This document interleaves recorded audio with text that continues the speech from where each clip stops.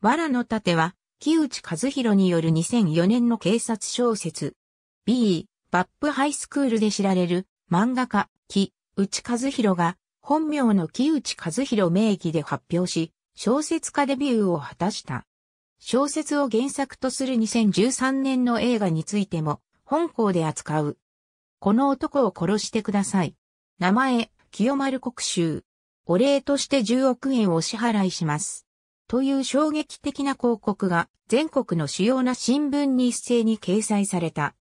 警視庁 SP のメカルは、この広告を知った当初は、子供じみていると侮っていたが、広告についてのニュースを見ているうちに逆にこの広告を本気にしない者などいないのではないか、と考えていた。そんなメカルに、清丸を護送する任務が言いつけられた。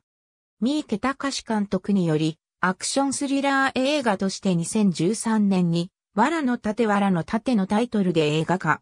2013年4月26日に全国にて公開。日本テレビ放送網開局60周年記念作品。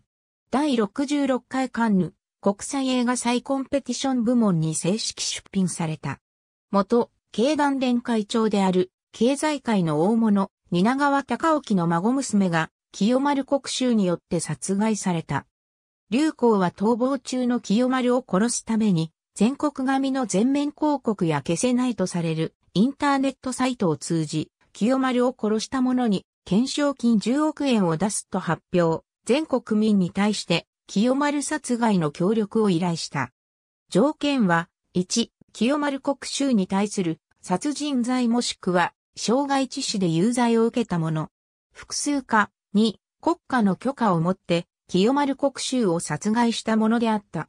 福岡で潜伏していた清丸はかくまってもらっていた人物に殺されそうになり、恐れをなして警察に出頭した。警察庁の上層部は、福岡東京の清丸移送に厳重な警護をつける。警護には、警視庁警護課第4係のメカル一期警部補と、同じく第3係の女性 SP の白岩敦子、巡査部長が選ばれた。また、警視庁、捜査一課の刑事である奥村武史警部補と上橋正樹巡査部長も同行し、福岡に立った。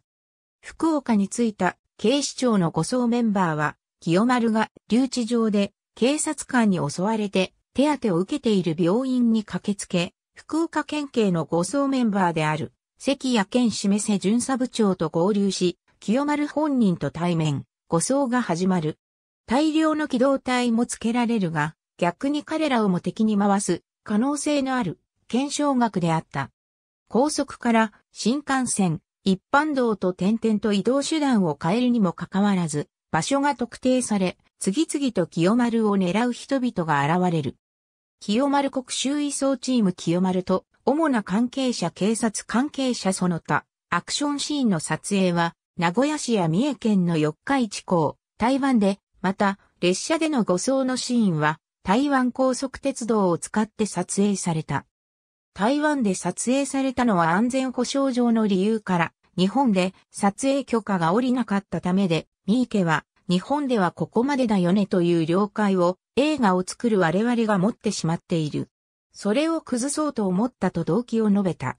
第66回カンヌ国際映画祭コンペティション部門に正式出品され、20作品に残った。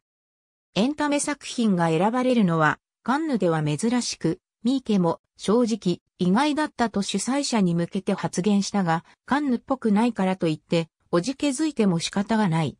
せっかく選んでいただいたんだから、その空気を楽しみたいと開き直り、激しく賛否両論を巻き起こせるといいと語った。かつて公式上映で観客に罵倒されたことのあるミーケは、カンヌでの国評も自分の作品の場合は想定内と語っている。丸の内ピカデリー1、新宿ピカデリー、渋谷ヒューマックスシネマ、東方シネマズ、六本木ヒルズ他全国325スクリーンで公開され、2013年4月27、28日の初日2日間で、公衆1億8、692万8、400円、動員14万5148人になり、映画観客動員ランキングで初登場第5位となった。